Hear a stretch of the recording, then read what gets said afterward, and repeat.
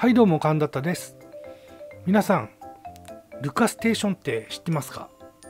とっても安いネットワークのテレビチューナーなんです。でネットワークのテレビチューナーがどういうものかって使ったことない人は全くわからないと思うんだけどテレビのチューナーをみんなパソコンで共有したりあと外出先から iPad とか携帯 Android の携帯とかから外出先から自分自のチューナーを使ってテレビを見れる。そういったものになります。とってもちっちゃくて軽くてもう華奢なんだけどねなかなかあのこれでねテレビ見れるなんてお手軽だと思いませんか？これ1台しかつなげないんであのみんなで同時に見るってことはできないんでその辺はしたかったらまあ他のものを買ってください。商品のなんだつなぎ方っていうのはこんなかこんな形になってます。アンテナ線を入れて LAN ケーブルをルーターから挿してあと電源を挿すだけ。録画したかったらここにハードディスクもつなげます。別売りだよ。じゃあ配線が終わったんでルカステーションの無料のアプリがあるんですけどあの視聴するやつね。それをインストールしていこうと思います。これ何台入れても大丈夫なんでルカステーションのいいとこだよね。じゃあとりあえず Windows 版入れていこうと思います。この iPhone 版もあと Android 版もあるんだけど携帯とか iPad とかで見るのもできるしね、すごくいいよね。じゃあとりあえずあの Windows 版インストールしていこうと思います。これなんかみんな引っかかる人がいるみたいなんでうまくできないとかね、ややっていこうと思います。まず、アイリスオーヤマのルカステーションのページを開きます。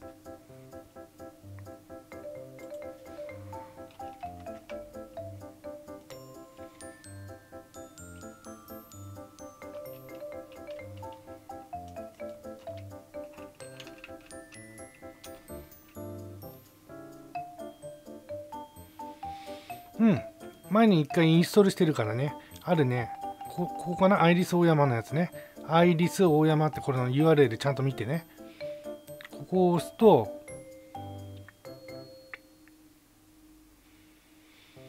アイリス大山のページが出てくるんで、そしたらサポート。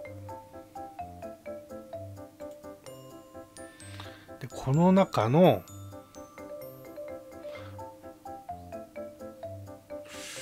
うーん、取扱説明書 Windows かな。で、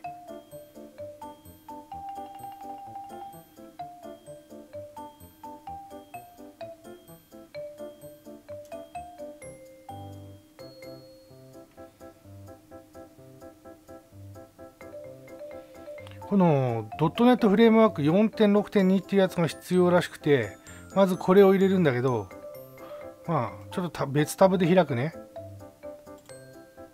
うん、大丈夫だよね。これ別タブだよね。あ、そうそうそう。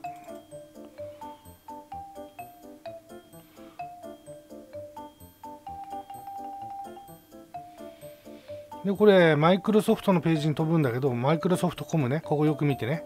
で、そしたら、えー、っとね、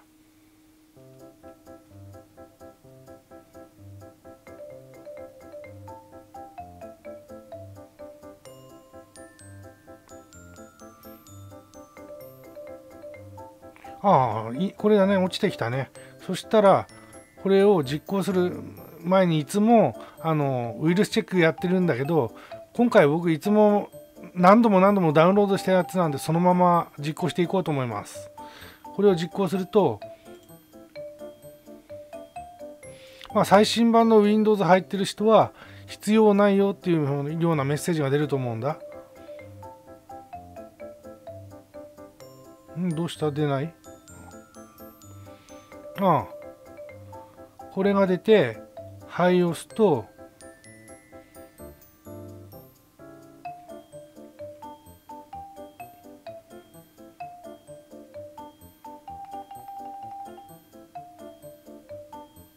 うん、こうやってね、これはもっと新しいの入ってるよっていうのが出るんで、最新版の入れてる人はこのまま無視して閉じちゃってください。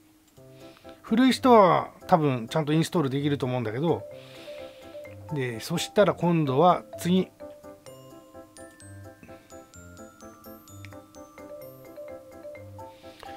うん、ランタイムだね。ビジュアル C のランタイム2012っていうやつをまず入れます。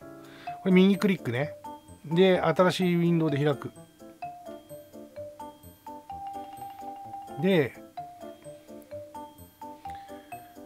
これで日本語のところでダウンロードでルカステーションの場合はこのねうんとね X86 これを使えって書いてあります。これね X64 やっても動かないから気をつけてね X86 だよ。これなんだろうプログラムで呼び出す時にどっちを使うかっていうのをプログラムが決めるやつだから自分が64ビット対応だからって言って64ビットの入れると動かないからね。気をつけてね。次へ。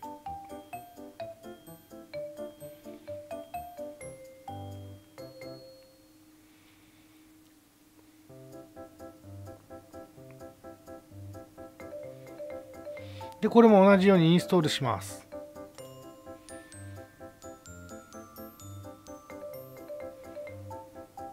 これはねライセンスに同意してインストール。ではい。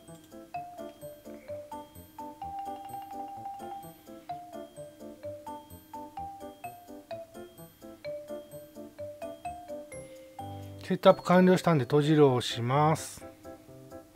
でこの画面も閉じちゃいます。で次に、うん、書いてあるねこれ。X86 選べってね。で次にこれかな？2013年のあのビジュアル C プラプラのなんだ？あのランタイム入れろっていう風に書いてあるんでこれも入れます。これねダウンロードするあのファイルがさっきとあのさっきの2012のやつと同じファイル名なんで気をつけてください。これでやっぱりあのダウンロードっていうのを選ぶでしょ？でやっぱり X86 ね。これファイル名同じだから。で次へ。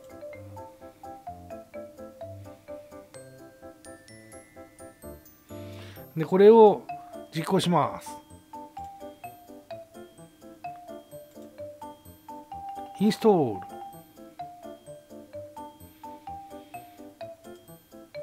このランタイムみたいなの3つ入れてからルナステーションのアプリを入れる。それそれが重要みたいでこれやらなくてなんかみんな繋がんない繋がんない言ってるらしいんだわ。だからこれ必ずやるようにしてね。んでこれでバッテン閉じるでしょ。で次にやっと本命のアプリケーションのファイル。これ ZIP なんだって。ダウンロードページっていうところを選んでここの Windows ってやつ。これはもう消しちゃおうね。Windows ってやつを選びます。すると ZIP ファイルが落ちてくるんで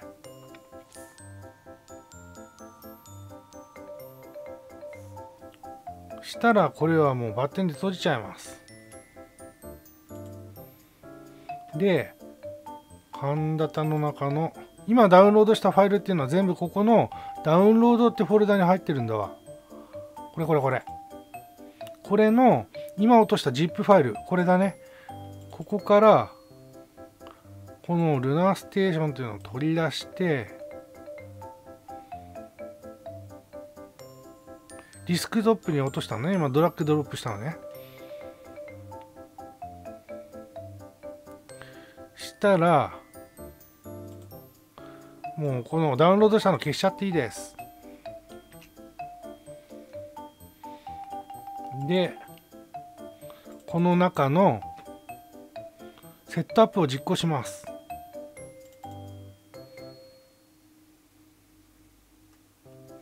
はい。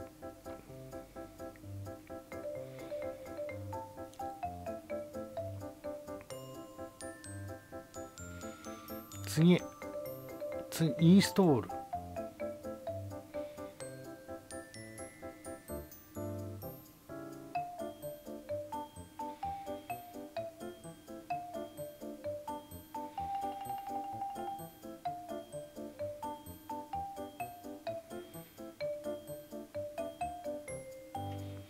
でねこのルカステーションっていうのは複数台から同時に見ることはできないからね。これ必ず1台の1台のルナステーションに対して1台のくあのこのソフトからしかアクセスできないようになってます。でアクセスするとルナステーションのあのランプが緑色のランプがもう1個つくようになるかな。おっと再起動。そっか。じゃあ再起動しよう。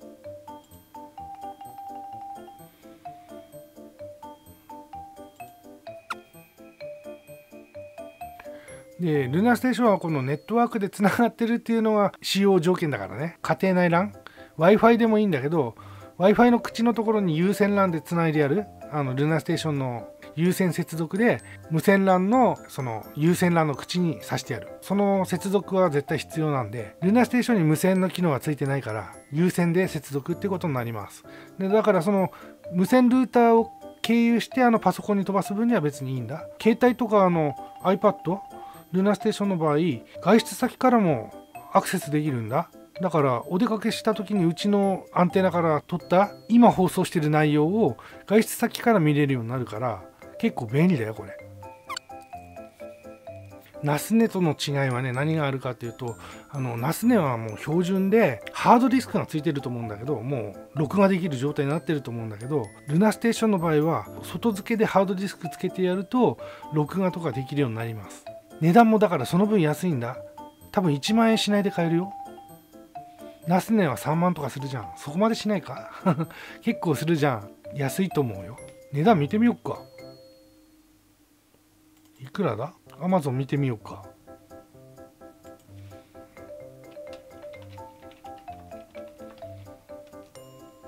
おっとコードじゃない。間違った。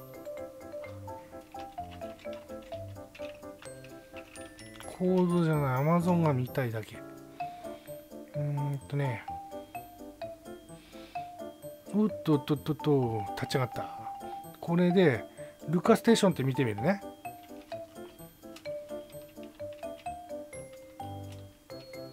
うん。ルカステーション。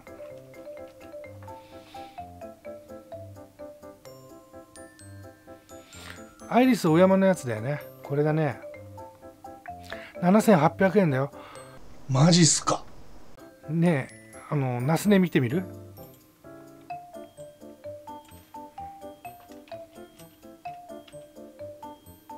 うん。バッファローバナナ安いよね。バッファローマンの3万だやっぱりほら。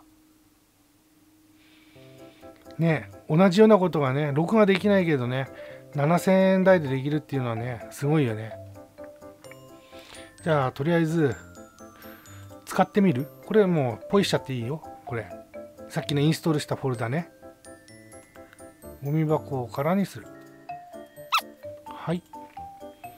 こんな重い重いねパソコンでもねちゃんと見れるんだよこれ。すごくない？ダブルクリック。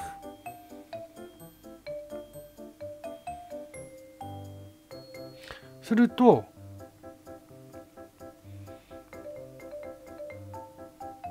うんルカステーションが見つかったね。これを選んで次へ。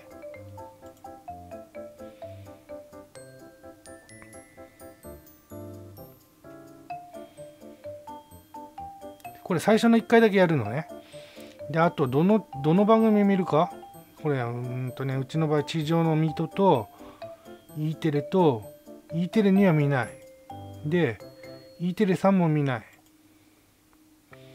日テレ見るでしょ？TBS 見るでしょ？富士見るでしょ？テレビ朝日テレビ朝日見るでしょ？東京見るでしょ？で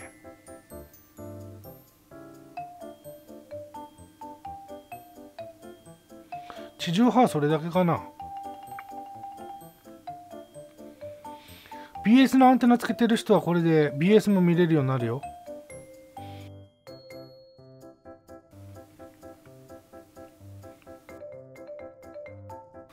うんとどうすればいいんだ？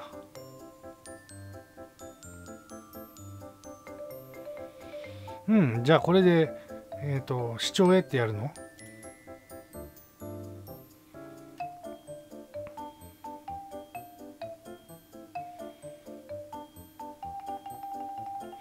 そうするとこうやってつながって見れる。でチャンネル変える時どうするかどうすればいいかっていうとクリックすると下にチャンネルが出るんでこれ押すとこうやって選べます。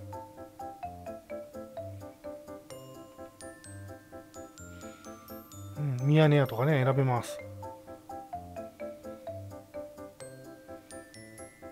こんな感じで見れます。これがどのパソコンに入れてもねあのいいソフトだからこれがねね家中のパソコンにどこからでも見れる見れるって便利じゃない？アンテナにだけどルナステーションはつながないといけないんだけどね他ね他のパソコンある部屋がどこからでも見れるからすごく便利だと思う。